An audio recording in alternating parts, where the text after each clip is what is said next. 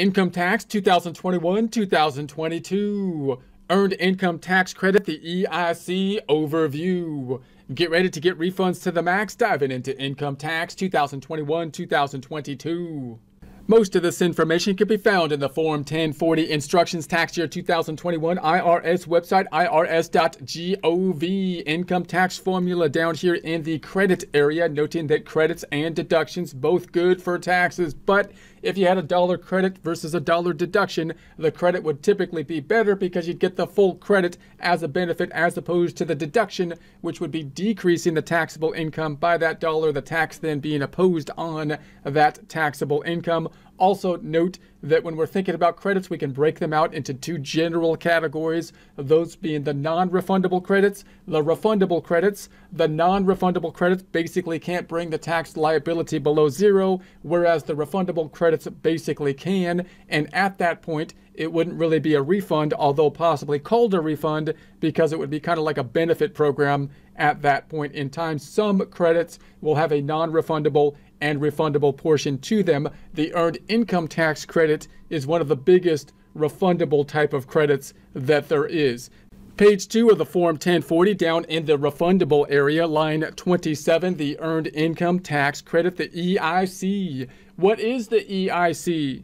It's the earned income tax credit and the earned income tax credit is a credit for certain people who work. The credit may give you a refund even if you don't owe any tax or didn't have any tax withheld.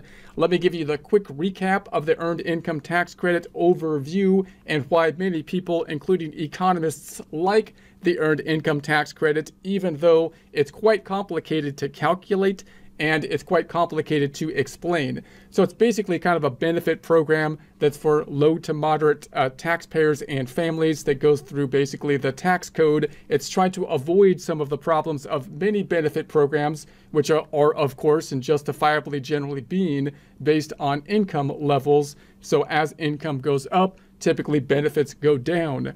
One of the problems, however, is that uh, as the as income goes up, people become uh, less dependent on the benefit programs, but if the program gets completely pulled away, then the loss of the benefit program can often outweigh the benefits they're getting from basically the income, which actually locks people in once they're dependent on the benefit programs to not becoming independent because once they do so, they lose the benefit programs before they're really ready to be able to be independent from them. So what you'd like to do is have some kind of benefit program in place that doesn't disincentivize or lock people into being dependent on the program and not being able to get to a point of independence from the program. One way you can try to do that is to give incentives for people that have work, people that have earned income. So the earned income tax credit is a credit that's actually going to go up as your earned income goes up in an attempt to incentivize people to have earned income, the most common kind of earned income being basically like W 2 income.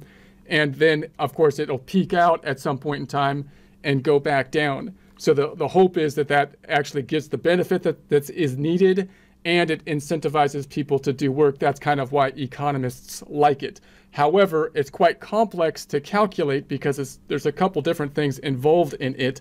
It's commingled with the amount of children that are involved. So the number of children between zero and three could have an impact on the calculation of the credit. And you can imagine that if it's based on earned income, then we have to determine what is earned income. Obviously, W 2 income is earned income. What about other types of income? Do you have to include it or not? And what about uh, so so types of income like like Schedule C income and so on, which types of incomes calculate for the earned income, and then of course you have to have different tables that are going to have the credit go up and then back down based on these factors such as like filing status, married, single, head of household, and number of children. So it can be quite complicated to calculate. And in this pandemic type of situation, they also have added the, the possibility of taking the prior year's earned income into consideration. Again, that's an added complication. So tax software is really helpful to calculate the earned income tax credit, and then you can kind of like deconstruct it to some degree to understand what is going on with it, which we'll take a look at here. You may elect to use your 2019 earned income to figure their EIC if your 2019 earned income is more than your 2021 earned income for detail see publication 596. So this was the whole issue with the pandemic and kind of like the downturn from it where people the justification for this would be like the the government saying well, we want to incentivize someone to have earned income, but they might not have the capacity during this time period to take the same jobs they would have had before the problem happened. So we're going to allow you to take the 2019 if it's greater than your current income. Why would you ever want to do that? Because normally income is bad for taxes. If you have to recognize income on the tax return, you might have to owe taxes on it. But as we said with the earned income credit, it could be good for the calculation of the credit because you're credit will actually go up as your earned income goes up up to a certain threshold. So that again, another level of kind of confusion. Tax software is really helpful uh, to to do those calculations. You can't use your 2020 earned income instead of your 2021 earned income. Again, a bit confusing here because I think the justification is they're going back to 2019, which is kind of before the whole issue uh, was taking place. Is the idea but that's a little ways back that you got to go back and kind of figure what that prior income is that you can possibly take in to the current system. And last year, of course, they had a similar thing, but it was the prior year. It wasn't going back two years back. So now we've got situations where the tax code is kind of changing each year in, in kind of weird ways so which makes it in, inconsistent, which makes it kind of confusing to people. So you can also use your 2019 earned income if it is more than your 2021 earned income if you make the election to use your 2019 earned income to figure your EIC, enter your 2019 earned income in line 27C. To take the EIC, follow the steps below. Complete the worksheet that applies to you to let the IRS figure the credit for you. If you have a qualified child, complete the attached Schedule EIC. If you have at least one child who meets the conditions to be your qualifying child for purposes of claiming the EIC earned income credit, complete the attached Schedule EIC, uh, even if that child doesn't have a valid social security number. So you can claim the credit if you don't have any child, any children, but then, or, or dependents child qualifying children, but it'll typically be much lower. Of course, it'll the, the brackets or the amount or calculation of the credits will typically go up if you have uh, the qualifying children up to basically three children where it basically caps out is the general idea. So you can see Schedule EIC for more information, including how to complete Schedule EIC if your qualifying child doesn't have a valid SSN social security number. Line 27A checkbox, a qualifying former foster youth must consent for entities who administer a plan under Part B or Part E of Title IV of the Social Security Act to disclose information related to their status as a qualified former foster youth. This consent is given by checking the box on line 27A. Qualified homeless youth are required to certify that they are uh, unaccompanied, unaccompanied, homeless, or at risk of homelessness, and uh, self supporting by checking the box on line 27A uh, for help in determining if you are eligible for the EIC Earned Income Credit. Go to the irs.gov forward slash EITC and click on the EITC Qualification Assistance. This service is available in English and in Spanish. Caution uh, if you take the EIC, Earned Income Credit, even though you aren't eligible and it is determined that your error is due to recklessness, uh, reckless or intentional disregard of the EIC rules, you uh, won't be allowed to take the credit for two years, even if you are otherwise eligible to do so. So the earned income tax credit, because it's a refundable credit and because it's substantial in dollar amount, the, there's going to be a lot of fraud that's related to it. So they got to try to pin down the people making false claims for the earned income credit in some way, and they can restrict. One way is to basically restrict the claims in the future. So if you fraudulently take the EIC, uh, you won't be allowed to take the credit for 10 years. So notice you've got the kind of like the gross negligence versus the fraud. Obviously, they kind of have to prove this in, in some way, and this is, happens to a lot of items in the law where intention comes into play. So they're kind of trying to determine whether it was like just negligence that was gross negligence or, or if it was an error. If it was an error, usually in the law, then it's not as bad. But if it's if it's reckless error, uh, then or or intentional disregard, then that has more of of that's more on you, right? And then if it's complete fraud, meaning you're basically lying, then that's going to be more severe.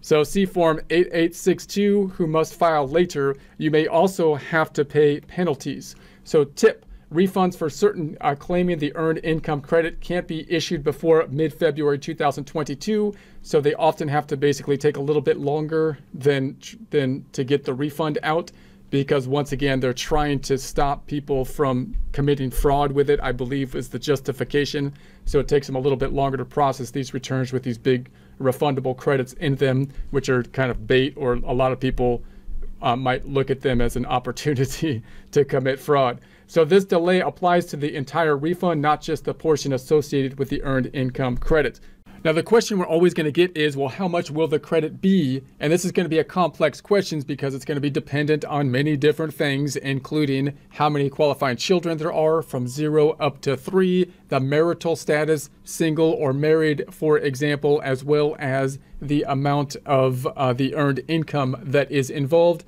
And we actually want to kind of visualize it as more of a curve, meaning in each of these categories, we can we can imagine then the credit going up as earned income goes up, and then capping off at some point the maximum credit for that category of number of qualifying children and filing status, and then it's going to go back down as the earned income goes up. So we can kind of visualize it basically as, as different curves based on different combinations of the the qualifying children and filing status. So let's first think about the maximums. These are the peaks of the curves if your earned income was at the perfect level. So we got the maximum credits then. Uh, so no qualifying children. You can still get the credit, but you know the curve is going to be lower. It's going to maximize at the 1,502. And then we have one qualifying child. It maxes out at the 3618. That's the maximum of the curve or the maximum credit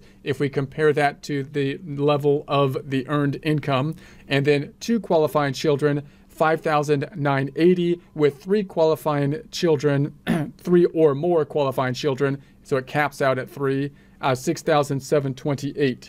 Notice you got to be careful when you're filing married filing separate because the IRS is going to be skeptical when people are taking like credits like this one. So that you you want to uh, check into that in more detail if you're married and decide to file married filing separate.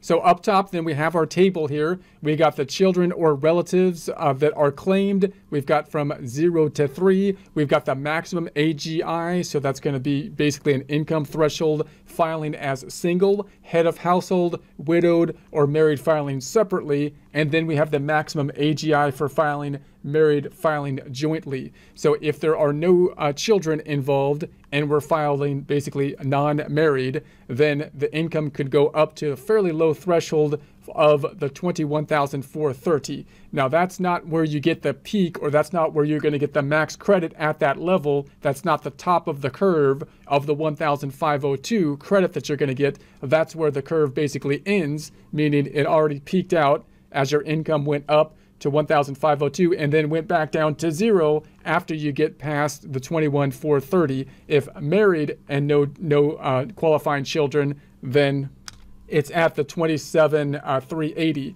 if we got one child involved and basically non-married, then the AGI can be as high as 42,158. Again, that amount does not represent the amount at which you'll get the maximum credit for that category of the 3,618, that's where basically as your as your income goes up, it capped out and then it went back down to zero past this point. And if married, if married then and one qualifying child, 48 108 is past where you'd get any of the benefit. If you have two children, then non-married, it can go as high as the 47,915. And again, that doesn't mean that at that income level, you're going to get the max credit of the 5,980, it means that as your income goes up, it's gonna, it's gonna, the credit's gonna go up and cap at the 5,980, and then it's gonna go back down, uh, back down to zero after you get past the 47,915.